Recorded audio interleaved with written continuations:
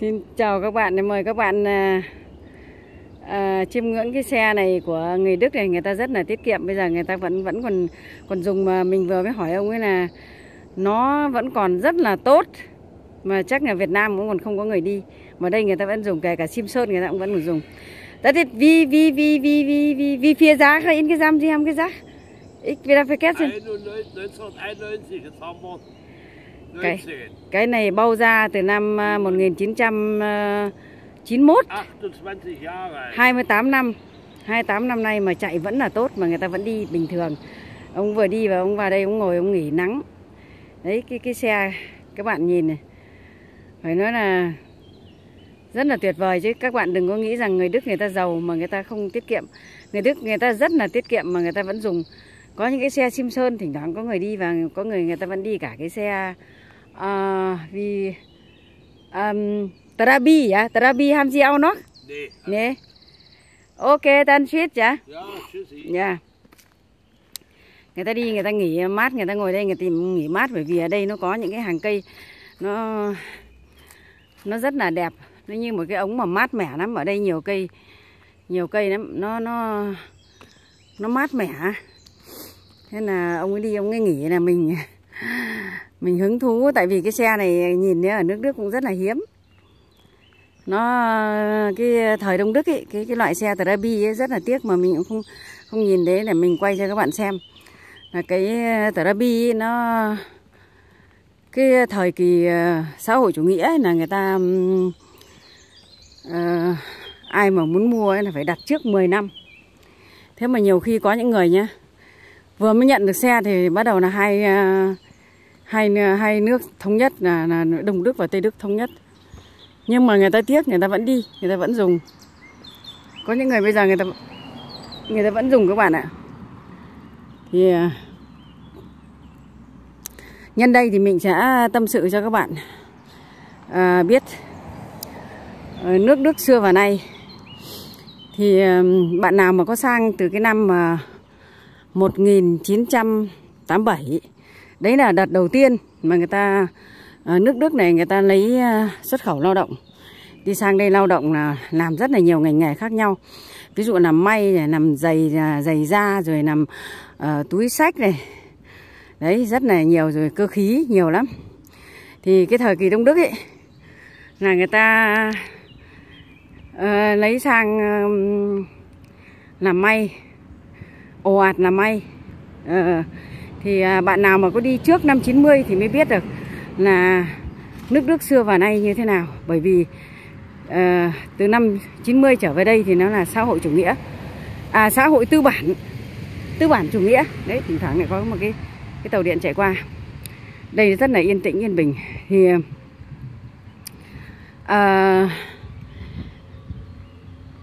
mình sang là năm 1987 thì mình à, lao động cho đến năm 90 là hai nước ờ, Đông Đức và đấy cái xe người ta chạy đấy. Đông Đức và Tây Đức sát nhập thì ờ, xóa bỏ hợp đồng. Thì mình đã chứng kiến ờ, nước Đức hai thời đại.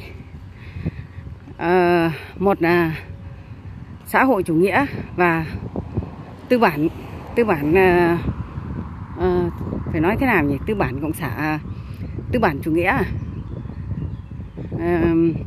Thì cái thời kỳ Đông Đức là xã hội chủ nghĩa thì cũng giống như Việt Nam cũng như bây giờ. Xã hội chủ nghĩa rồi ờ, đảng cộng sản các thứ. Thì cái ờ, thời kỳ đấy là ai ai cũng có việc làm. Ai ai cũng có việc làm uh,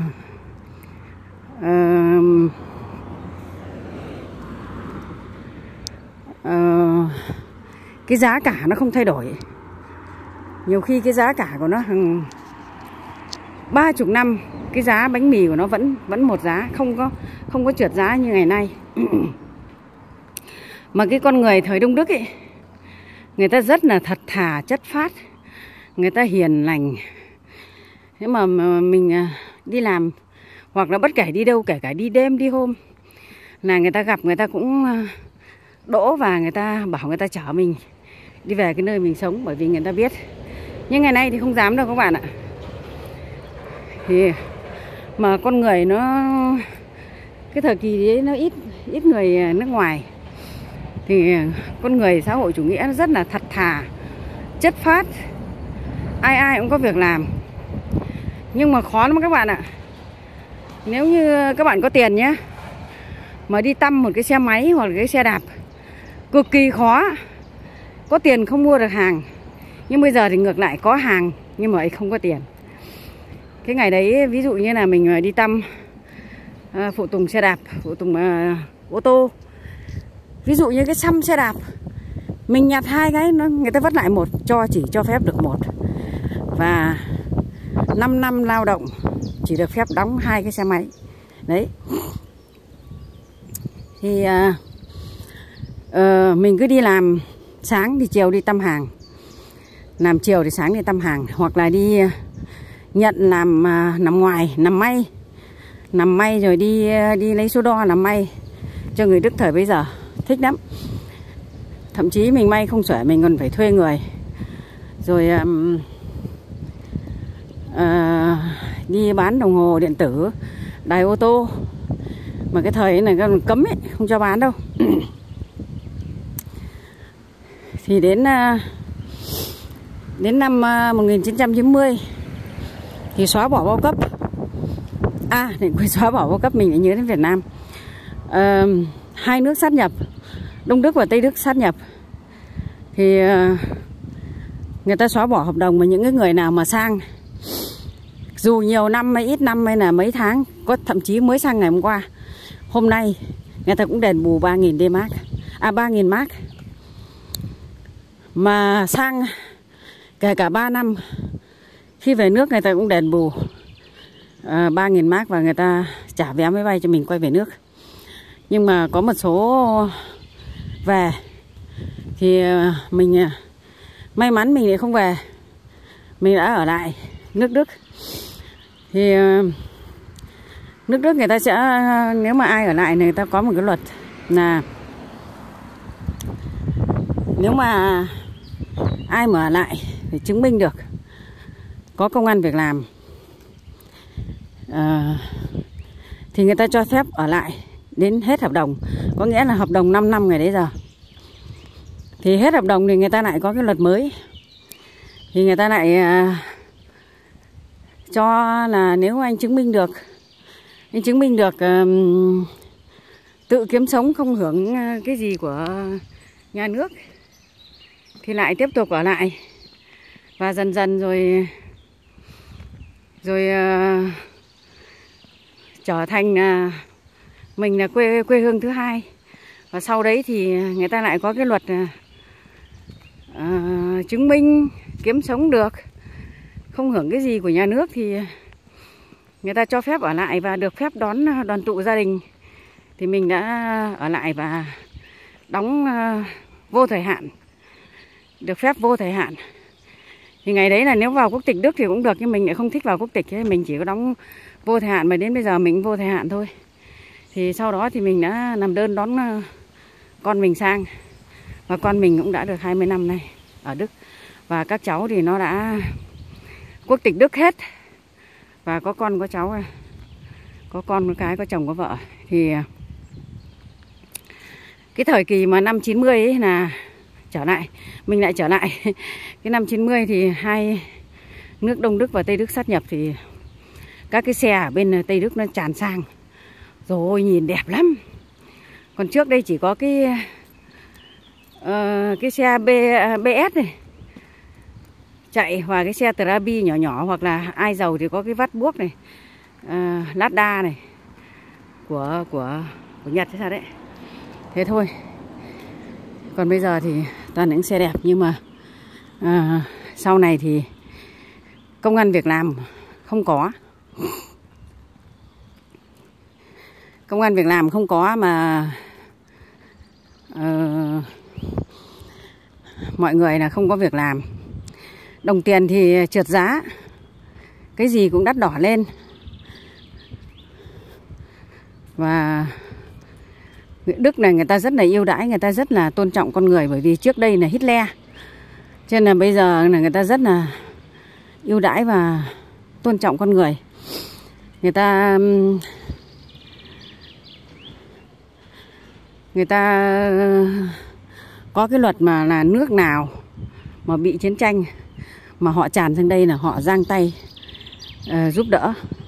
Là có hiện tại bây giờ có mấy nước đấy người ta chiến tranh người ta tràn sang đông lắm cho nên là nước Đức bây giờ rất là nhiều người nước ngoài. Mà nước Đức là người ta không thích đẻ dần dần là dân số nó bị giảm đi đấy. À, không thích đẻ. Người ta thế người ta không không thích đẻ các bạn ạ. À, bây giờ đi đâu cũng chỉ có nhiều người nước ngoài đông người nước ngoài lắm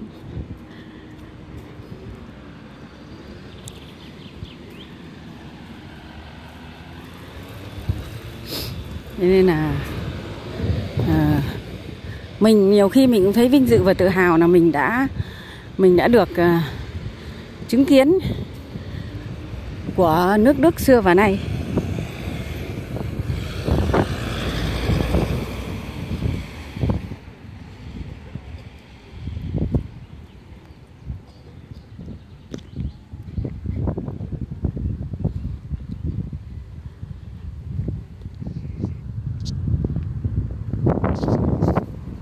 Đây. Mời các bạn chiêm ngưỡng này.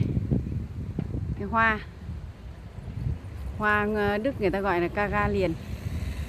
Rất là đẹp các bạn ạ. Rất là đẹp, rất là tuyệt vời. Thì, ờ,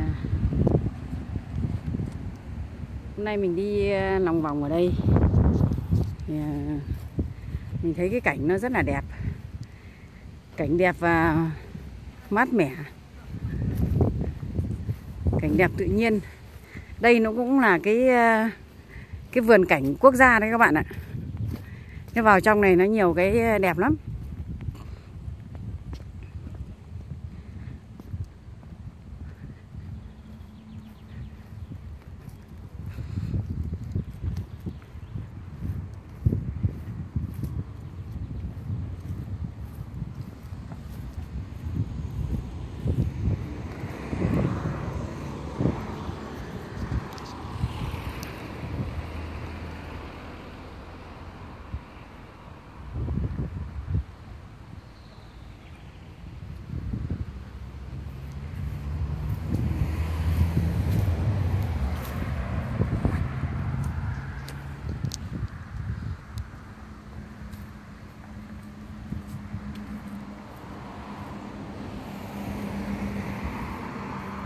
Thôi thì à, cái đường phố à, đến đây thì mình cũng muốn à, dừng video của các bạn nhé.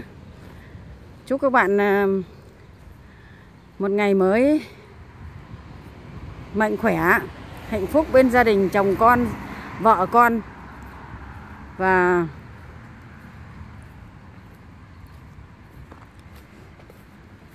chuẩn bị bữa cơm tối của Việt Nam thì mình xin dừng video ở đây. Bye bye các bạn.